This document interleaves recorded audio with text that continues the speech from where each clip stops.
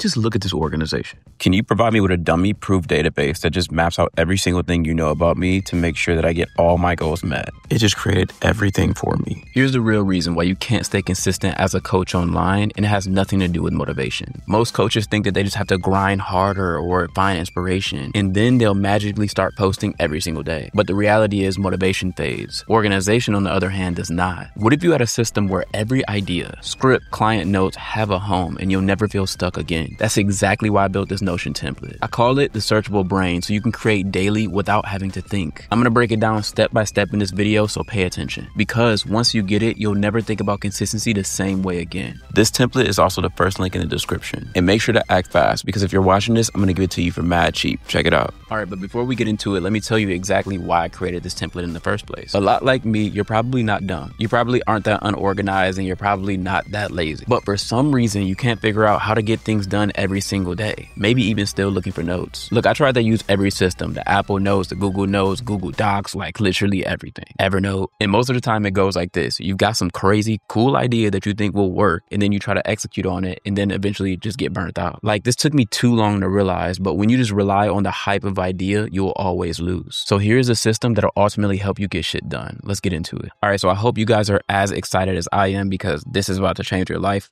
But the first thing that I do is I use GenSpark browser, okay? So go ahead and get this browser. It's called GenSpark. It's pretty dope. The reason why I use it is because I can talk to my browser and I can also have AI do things for me. So for example, if I wanted to just automate my entire schedule or automate all the emails that I have in my inbox. You can literally talk to GenSpark and then GenSpark would just get it all done. Like you can come here and then it connects to your Notion, it connects to your Gmail, connects to your Drive, your calendar. It literally knows exactly what you're trying to do. And you can tell it to schedule things into your calendar and then it'll get that thing done. So that's why I don't use just the Notion app as much. Like I have it up but I typically just lean towards GenSpark. So the first thing I do is I open Notion in GenSpark and I also open Notion Calendar, which we'll get into next. But when you open a searchable brain, it's going to look like this. And the first thing you'll see is this quick capture button. This thing is so important because all you have to really know is this is the first thing that you click.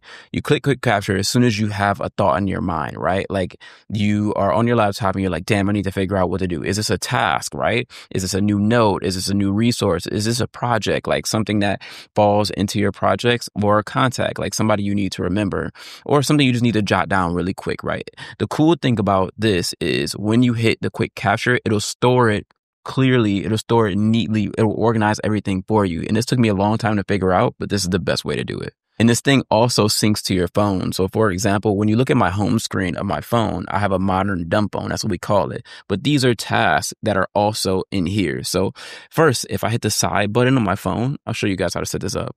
Then I can put a new note down. So, when I'm walking around and I just have a thought or idea, I just say what it is and then I hit done. And then all of a sudden, it'll put it inside of my Notion and organize it on my home screen to make sure I get it done. So, that's an important step too, which we'll talk about later on in the video. This is a dashboard that has literally everything organized for you. So you can see the areas, the goals, the Skool, the tasks, literally everything in a screenshot or like a snap, right? But like I mentioned, that's typically not where you're going to be working the most at. You're going to be going quick capture. And then next, you can also look at the projects.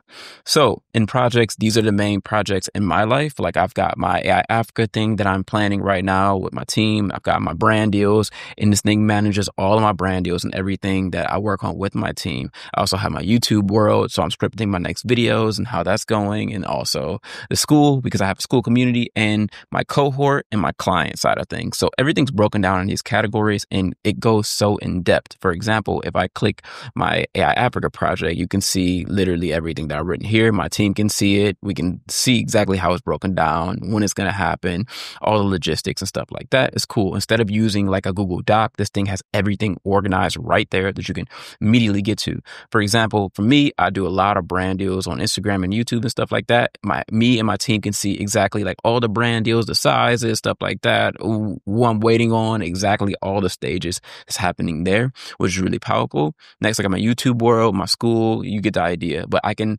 have my life into these projects to make sure that I check off everything that needs to get done. And the cool thing about it is when you hit that quick capture button, you can just write down a note and then click the next category. Like, for example, let me do it now.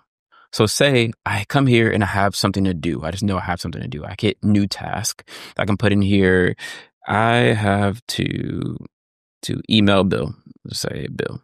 Okay. And then under that, you're going to see the area, which we're going to go over next, but you can see how I can come here and hit project and I can put what project that is. So it'll automatically organize it in that category based off of that. And also if you have a goal to hit, so you can see all the goals that I have here, like I want to launch, I got my cohort going on, I want to hit my members and it's tracking all the, the projects.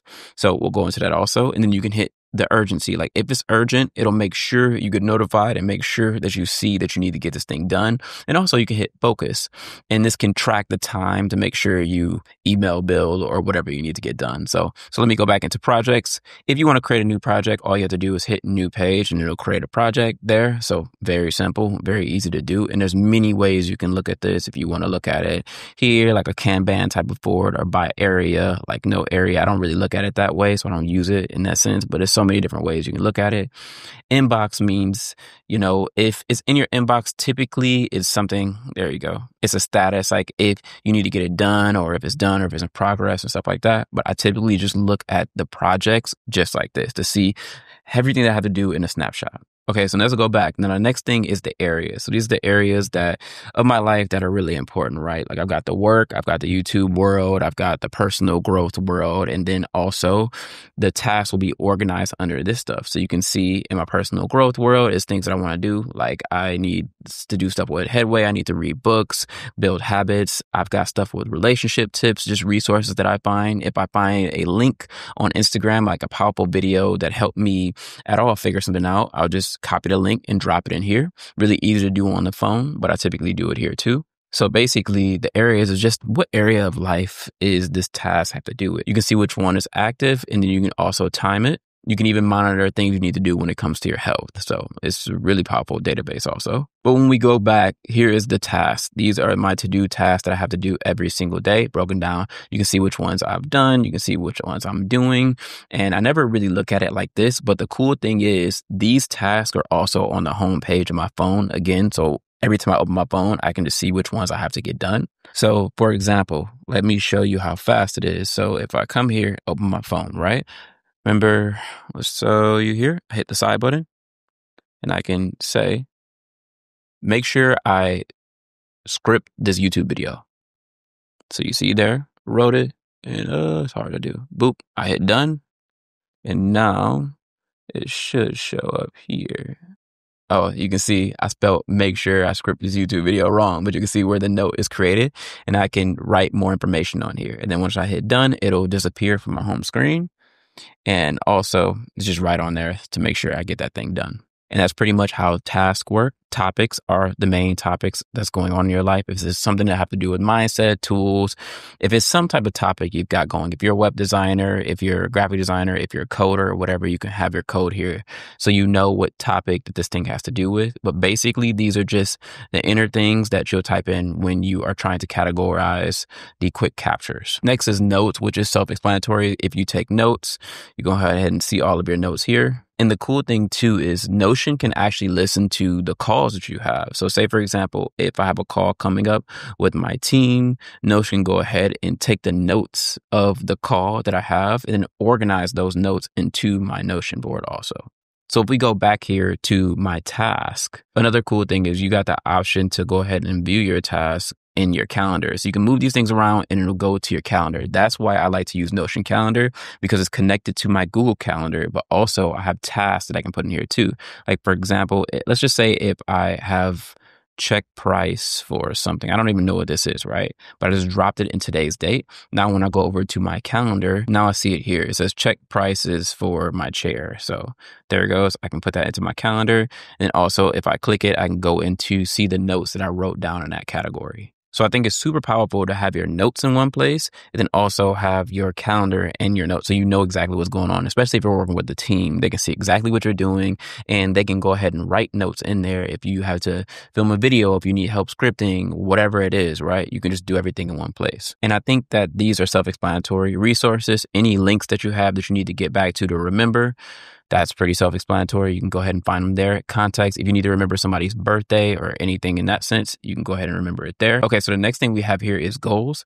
So this one is so, so powerful. Okay. And this is why Notion is so dope. I think that's better than any other app because now this thing knows your goals because you've been taking all types of notes in here. You've got everything inside of your Notion. So it knows who you are. Think about it like ChatGPT, right? ChatGPT knows all the conversations you have. Notion does too, but it doesn't have any limits. You can literally write millions of words in here. It's going to have everything organized for you. And then when you upgrade to Notion AI, which I highly recommend, you can go ahead and say, like, based off of everything you know about me, can you ask me 10 questions so I can get crystal clear about all my short term, midterm, and long term goals? And then you answer those questions off of here, then you can go ahead and tell it to put this all in your Notion template for you. So it can organize everything for you because it has access to your Notion. So it's not like you have to manually write all these things in. Like I didn't write any of this stuff in. Notion did it. It put the areas, it put the due dates, it put like the progress of how much that I have to get done. It literally does everything for you. Like all you do is just talk to this little thing right here and it can do the actions for you.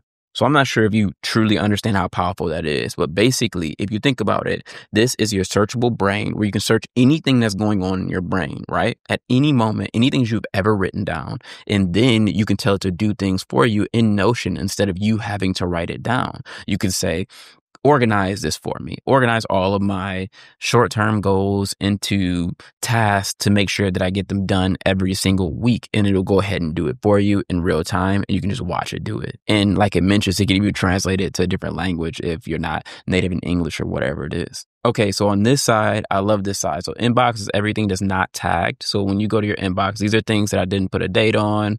And then if I put a date on it, it'll disappear from my inbox, which is really cool. So say for example, if I click here and let me just put a date on this. Like due date is, I'm actually going to make this due date tomorrow. Boop. There it goes. Now it disappears from my inbox because now it's in my calendar, which is cool. So you can see a snapshot of everything that you have to get done that are in your inbox that isn't scheduled. So that's huge. Next thing is my day. Oh, I love this tab. So this is probably one that I use the most also. And since it's something I use the most, I wanted to leave this so I can show you guys how I do it you can click here and you can also favorite. And now when you favorite, these are things you need to get to the fastest. So I'll put that under my searchable brain. But first is the home screen, of course. Another thing is the deal tracker. Like I need to do the deals, like I mentioned. Another thing I need to get to is to see my calendar to be able to move things over. And the resources, my tasks, just like everything that I went over is just on my side panel. But for my day, this one's so cool because this one helps you schedule your day. Like, for example, did I work out yet? No. Did I make money today? Yes, I made money today. Did I make content? I'm making content right now. Yes. Am I focused on my YouTube world? Yes. Did I spend time writing? I did. And did I post in my community? I have not yet. And the cool thing about it is all of this stuff is tracked, which I'll show you next. But that's where I start when it comes to my day. Then I come down here and I just journal, right?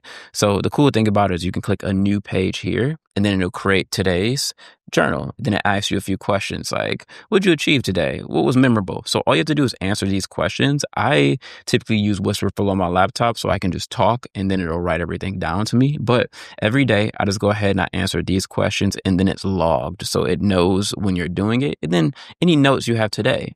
Then from there, it'll just mark it here. So you just have your notes. And then also it shows in my day the things I have to do. I have to post this this colo, I have to I put the chair thing in there. Remember when I did this in my notes? So now it's showing in the thing that I have to do today, and it says low priority. So it even marked that it's not a big priority right now, and I also has to edit this emergent video. So it knows it keeps me focused on exactly what I have to do for the day. And let's just say in this colo post, I need to post this thing, so I'm gonna hit focus, right? So the cool thing about it is, if I hit this focus tab, it's going to show me all the things I have to focus on to make sure that I get those things done, which is really, really cool. Just having everything super lasered so you know exactly what to do at all moments. It's a really cool thing about my day. The next is we've got the quick capture, which we talked about, the knowledge hub. You really don't have to look at this. This is just mainly a big snapshot of everything you have to get done that knows your knowledge. And then you can also track your time. So as you're doing things, you can click start and then stop. And then it'll show you how long it took you to work on certain things. If you're type of person that likes to time track, I like to time track, but not too much. But this is a great way to do it because you can go ahead and do it automatically without having to hit it manually and tell it like what you've got done. Another thing that we've got is archive. You really don't have to look at that. That's just things, it's pretty self explanatory. And then more is offline mode if you want to work on it and you don't have Wi Fi or whatever, you'll be able to use it there. And then these are cool. So you got a book tracker if you read, and then habit tracker. We kind of touched on this one, but remember when I said that I had made money today, I recorded today, you know, the things that I have done. It shows me my prior progress. Then it can show me in the week the things that I've got done. Then it even makes a chart out of all the things that you get done. So it'll automatically make sure that you get everything done strategically, make sure it's all organized for you. But I just went through the entire board. So that's everything that's going on in the background. But all you need to focus on today is just quickly capturing all of your ideas. And as long as you do that on your phone and on mobile, it'll make sure you get things done. Okay, so let me show you how everything is set up on the phone. It's pretty simple, but really dope. So the first thing you need to do is go to the App Store and then you need to look for an app called Blank. So it's to look something like this one right here blank spaces. You get this? Well, I need to update it. But basically, what this will allow you to do is it's going to make your phone like this. It'll hide all your apps. Basically, you have to go ahead and remove the apps. So, for example, like you would click it and then you can remove the app, but just remove it from your home screen. So, you want to remove all apps from your home screen. That's the first thing that you want to do. Second thing you want to do is, yeah, go to the app blank. So, let me see if it is done uploading, downloading. There we go. And you'll be able to put the apps that you want to get to the fastest here. You can just hit the plus button and go ahead and add it. But basically, that will give you this type of look to where it's just very minimalistic and nothing on your home screen. Next thing you need to do is get this app called Sync Task. So let's go back to the App Store. There we go. So we look at Sync Task. This tool is going to allow you, gosh, I got to update everything. But this tool is going to allow you to connect your Notion to your home screen so you're able to just check things off. Okay, so when you go into the app sync task, you can see my Notion task here. And I'm going to click the little three buttons in the corner, and then you can see where it says task. But this is where you add your Notion space. You just hit here and then connect the task that's inside of your Notion. So that's how you can talk to it. So basically, it'll prompt you to connect your Notion. That's pretty much it. And then you can just find your notes. And then from there, it'll just pop up on your sync task, but then you would just go here, hold down your home screen, and we want to edit home screen, hit edit. And then you want to add a widget. And the widget you want to look for is the sync task widget. And then that will allow you to have your task right on your home screen, just like this. So that's the way I have it set up pretty much on my home screen. The next thing I have is Notion, Notion Calendar, and the Notion email below. So Notion Calendar looks like this, of course, just like your calendar, but I also have my notes in there. See, the purple is my notes. So it's pretty dope. I see that I have to still edit the emergent and then also have my main notion so I can go ahead and look at the searchable brain and everything that I covered before is here organized the same way so I can hit quick capture. Pretty simple. The last thing you need to do, you need to go to create a shortcut. So when you go to your shortcut app, you just hit add and then you look for a sync task. So when you look for sync task, boop, and I can add sync task. And then from there, it basically says add task to blank folder, right? So I can hit task, right? It's already there to which folder. And then you can go ahead and click the folder that you want to add task to. So task right there is the one that's inside of my Notion. So pretty much that simple. And then the last step you need to do is just go to your settings after you add your shortcut. And when you go to your settings, just search for your action button. There you go. And then just go ahead and click that automation right there from your shortcuts. So now when I go ahead and click the side button, I can just add a task and then it'll go to my home screen and then it'll also sync to my Notion. So it's pretty much how I got it going on. And I promise you, it is the fastest way to go from like having something in your head to making sure you get it done every single day. Because once it's staring literally at your front screen all day, it'll make you want to get it done. I, I guess it's like very difficult to not get things done when it's just right in front of your face all day. Hopefully you enjoyed this video and you can find this template linked below. If you've watched this video, I'm to give it to you half off. Hopefully you find value. Hopefully see you in the community. But if not, definitely check out that template because we need to get organized in 2025, 2026, just far